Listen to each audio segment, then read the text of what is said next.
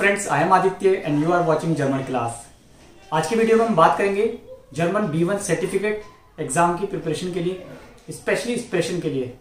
काफ़ी लोग हैं जिनको प्रॉब्लम होती है स्पीकिंग स्किल्स में, कौन से टॉपिक प्रिपेयर करें, किस तरह से तैयारी करें। तो आज मैं आपके सामने कुछ टॉपिक पेश करूँगा। कुछ टॉपिक्स आपको बताऊँगा एक्सप्रेशन के प्रेजेंटेशन के लिए स्पेशली कैसे प्रेजेंटेशन देनी है और प्रेजेंटेशन में कौन कौन से टॉपिक आप तैयार कर सकते हो। जिससे कि आप इन टॉपिक्स को पढ़ के डेफिनेटली अच्छे मार्क्स स्कोर कर सकते हो।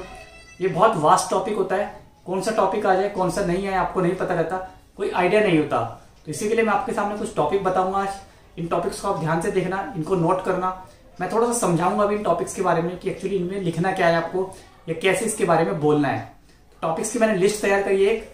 मैं एक एक करके इन टॉपिक्स को आपको एक्सप्लेन करूँगा। और आप देखना कि इन टॉपिक्स की हेल्प से आपको काफ़ी अच्छे स्कोर हो सकता है। प्रेजेंटेशन में B one certificate Goethe exam का चलिए शुरू करते हैं टॉपिक्स की बात। तो सबसे पहला टॉपिक जो है, वो है fitness studio fitness studio means gym तो प्रेजेंटेशन में आपको ये क्वेश्चन आएगा कि क्या फिटनेस स्टूडियो ज़रूरी है कि नहीं? क्या जिम में जाना ज़रूरी है? हमें जिम में जाने से ही हेल्थ बन सकती है? हम हेल्थी जिम में जाने से ही रह सकते हैं या नहीं? तो फिटनेस स्टूडियो या ओटर नाइन तो इसके फेवर में बोलना है, या इसके अगेंस्ट में बोलना है, ये आपको डिसाइड करना है। और इसके फोर टाइल और आपको नाक टाइल बताने हैं। और सिचुएशन आपकी होम टाउन में कैसी है? और आपका पर्सनल एक्सपीरियंस कैसा है? ये चार पॉइंट्स है जो आपको हर एक टॉपिक पे बोलने होते हैं। तो ये आपको पता ही होगा किस तरह से आपको बोलना है। सबसे पहले आप अपनी पर्सनल एक्सपीरियंस बताओगे। उसके बाद आप बताओगे सिचुएशन आपके होम टाउन में, आपकी हाईमार्ट लैंड में कैसी है। फिर आप उस टॉपिक के फोर टाइल और नाक नाकटाइल बताओगे कि उसके क्या एडवांटेजेस है, क्या डिसएडवांटेजेस है। और लास्ट में आप थैंक्स बोलोगे और अपना एक स्लूश वर्ड मतलब एक एंडिंग लाइन आप बताओगे, एक मैसेज दोगे। तो इस तरह से आपको प्रेजेंटेशन का अपना ऑर्डर तैयार करना है, जो कि सारे टॉपिक में सेम रहेगा। तो मैं कुछ टॉपिक डिस्कस करूँगा। अभी मैंने आपको बताया फिटनेस स्टूडियो या ऑर्डर नाइन उसमें भी आप इसी तरह से सारे सीरियल ऑर्डर में आप बात करोगे और सारी चीज़ों को बताओगे एक्सप्लेन करोगे।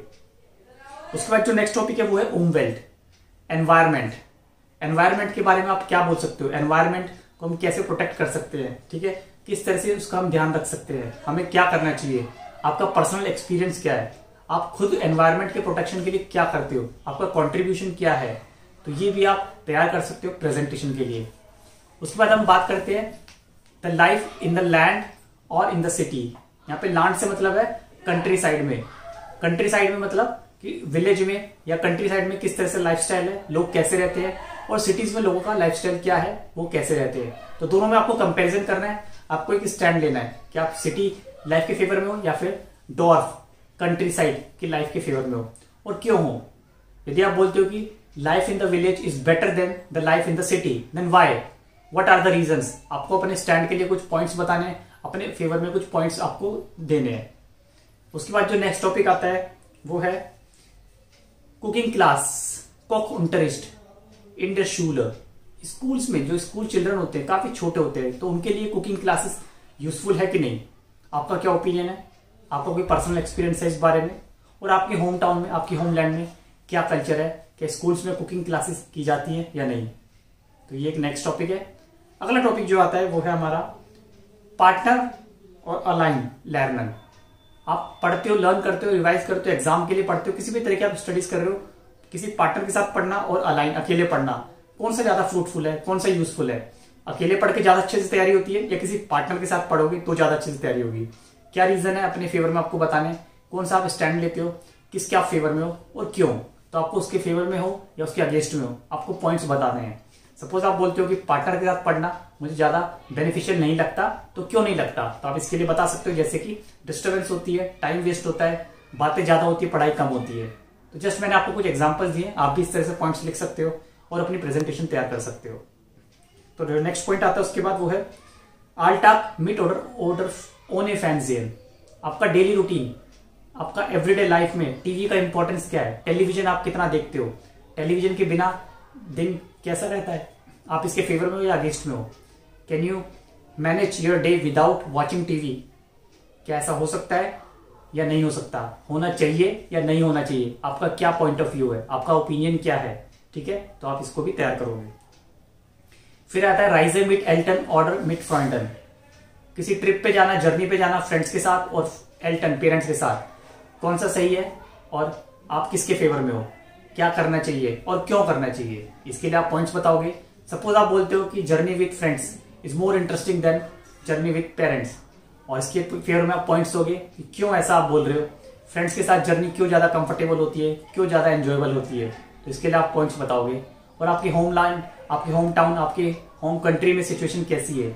लोग कैसे प्रेफर करते हैं जर्नी ट्रिप पे जाना? फ्रेंड्स के साथ ज़्यादा लोग जाते हैं या अपने पेरेंट्स के साथ ज़्यादा या फैमिली के साथ ज़्यादा ट्रिप पे जाते हैं?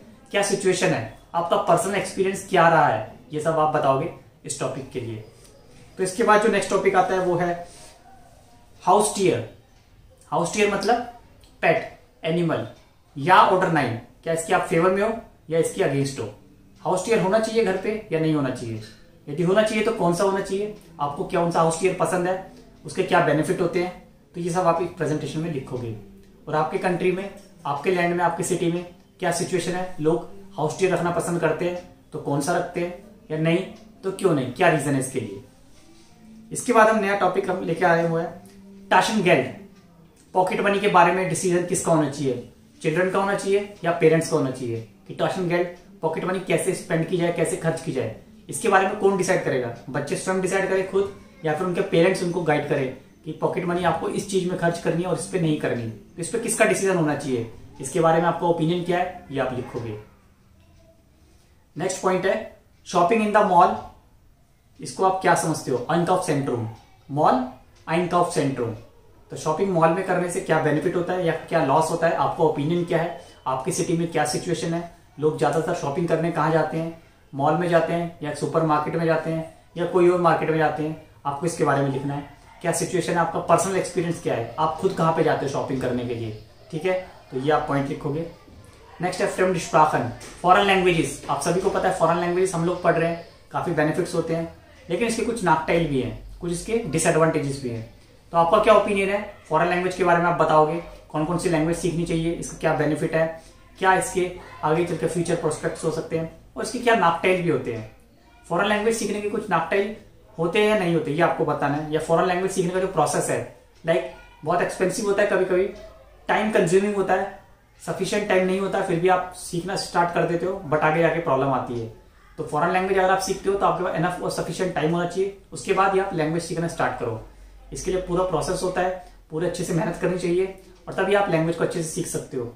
और थोड़ा सा आपको टाइम और मनी दोनों स्पेंड करना पड़ता है लैंग्वेज सीखने के लिए। तो इस तरह से आप बता सकते हो, अपने फेवर में पॉइंट दे सकते हो। और सिचुएशन बताइए कि आपके होम टाउन में क्या ट्रेंड है? क्या लोगों यंगस्टर्स में ज़्यादा पॉपुलर है? फॉरन लैंग्वेज आजकल या नहीं? फॉरन लैंग्वेज अगर पॉपुलर है तो किस तरह की लैंग्वेज पॉपुलर है? और यंगस्टर्स ज़्यादा क्यों सीखना प्रेफर कर रहे हैं? इसके लिए रीजन क्या क्या है? क्या कारण है कि लोग आपके टाउन में, आपके सिटी में फॉरन लैंग्वेज को लोग ज़्यादा सीख रहे हैं आजकल? नेक्स्ट पॉइंट जो हम आता है, इसके बाद वो है मोड फ़ैशन एंड यंगस्टर्स मोड उन युग इंग्लिश इनके बीच में क्या रिलेशन है? क्या फ़ैशन यंगस्टर्स ही करते हैं या ओल्ड पीपल भी करते हैं? फ़ैशन के साथ आगे बढ़ना अच्छी बात है या नहीं? You should go with the fashion और you should follow your own lifestyle तो इसके बारे में आपका क्या ओपिनियन है? कुछ लोग होते हैं जिनको फ़ैशन के साथ चलना अच्छा लगता है। जो भी लेटेस्ट होता है, जो भी लेटेस्ट ट्रेंडी क्लोथ्स होते हैं गारमेंट्स होते हैं, उनको वो खरीदते हैं और उनको यूज़ करते हैं। तो आपका ओपिनियन क्या है? कि आप भी बहुत ज़्यादा फैशनेबल हो? क्या आप भी बहुत ज़्यादा ट्रेंडी हो? मार्केट में जो भी नया आता है, आप उसको यूज़ करते हो। इसके लिए आपका ओपिनियन क्या है? और फिर दोबारा सिचुएशन क्या है आपके टाउन में? और इसके क्या फोर टाइल होते हैं? क्या इसके नाक टाइल होते हैं? फ़ैशन के साथ चलने में सबसे बड़ी प्रॉब्लम आती है पैसे की। अगर आपके पास पैसा है तो आप ज़रूर फ़ैशन को फॉलो कर सकते हो। और पैसा नहीं है तो आप फ़ैशन को फॉलो नहीं कर सकते। फ़ैशन के साथ रहना ट्रेंडी रहना लेटेस्ट ट्रेंड को फॉलो करने के लिए पैसे होना बहुत ज़रूरी है। तो इस तरह से आप भी लिख सकते हो। नेक्स्ट जो हम बात करते हैं पॉइंट वो है हाउस और वाइट टाइलन जो घर का काम होता है, क्या वो शेयर करना चाहिए वुमेन और हस्बैंड को आपस में? या सिर्फ़ वुमेन ही घर का काम करनी चाहिए? इसके लिए आप क्या सोचते हो? क्या घर का काम सिर्फ़ वुमेन ही करनी चाहिए या मैन को भी उसमें शेयर करना चाहिए? तो आपका ओपिनियन क्या है? आपके सिटी में, आपकी कंट्री में क्या सिचुएशन है? क्या हाउस होल्ड वर्क दोनों हस्बैंड वाइफ दोनों मिलकर करते हैं? या सिर्फ़ वाइफ की रिस्पॉन्सिबिलिटी है? हाउस ऑफ़ ये हाउस और वाइट करना। तो इसके लिए आपका क्या ओपिनियन है? आप क्या सोचते हो? और अगर ऐसा करना चाहिए तो क्या इसके बेनिफिट्स होते हैं करने के? ठीक है? तो ये भी आप लिखोगे। तो ये बहुत अच्छे टॉपिक्स है। मैं आपको और इलेबोरेट करूँगा। काफ़ी ज़्यादा टॉपिक्स मैंने लिखे हुए अगर आप इन टॉपिक्स को तैयार कर लेते हो तो आई होप कि आप अच्छे से प्रेजेंटेशन में स्कोर कर सकते हो। इस तरह से काफ़ी और भी टॉपिक्स है जो मैं आपके साथ डिस्कस करना चाहता हूँ। एक बड़ी लिस्ट मैंने बनाई है अराउंड ट्वेंटी फाइव टॉपिक्स है इसमें। तो आगे जो टॉपिक्स आते हैं वो है सोशल नेटवर्क बहुत इंपॉर्टेंट टॉपिक है सोशल नेटवर्किंग साइट्स क्या आप यूज़ करते हो? इनको यूज़ करने का क्या बेनिफिट है? और क्या नुकसान होता है सोशल नेटवर्किंग साइट को? और आपका पर्सनल ओपिनियन क्या है? और आपकी सिचुएशन आपके होम टाउन में कैसी है? क्या यंगस्टर बहुत ज़्यादा सोशल साइट यूज़ करते हैं? उनको कुछ बेनिफिट मिलता है? या इसके कुछ लॉस भी हैं? आजकल हम देखते हैं साइबर क्राइम्स जो कि बहुत ज़्यादा बढ़ रहा है। उसका एक रीजन सोशल साइट्स पे बहुत ज़्यादा पर्सनल डिटेल्स शो करना या डिस्क्लोज करना भी एक रहा है रीजन तो इस तरह से आप इसके बारे में पॉइंट्स लिख सकते हो सोशल नेटवर्क के बारे में, कि आपका क्या ओपिनियन है, इसके क्या बेनिफिट्स और क्या इसके लॉस है. इस तरह से एक और अच्छा टॉपिक है, वो है आउट ऑफ़ राइट आगे. Car free days in a year क्या आपको लगता है कि साल में कुछ दिन विदाउट कार हमें चलना चाहिए? कुछ ऐसे डेज़ डिसाइड करने चाहिए कि हम कार ना चलाएँ और हम वॉक करें या साइकिल से आगे बढ़े। तो आपका ओपिनियन क्या है? क्या विदाउट कार डेज़ होना चाहिए? ये ठीक है या नहीं? आपका अपना ओपिनियन क्या है? क्या इसके बेनिफिट होंगे? यदि हम एक दिन के लिए कार ना चलाएँ या वीक में दो दिन कार हम ना चलाएँ, हम वॉकिंग करें या हम साइकिल से ही अपनी जर्नी पूरी करें। तो इसके बारे में आपका ओपिनियन क्या है? क्या ये सही है? एनवायरमेंट का इसका क्या इफ़ेक्ट पड़ेगा? एनवायरमेंट कितना अच्छा होगा, या इसके कुछ लॉस भी है, या इसके कुछ नुकसान भी है।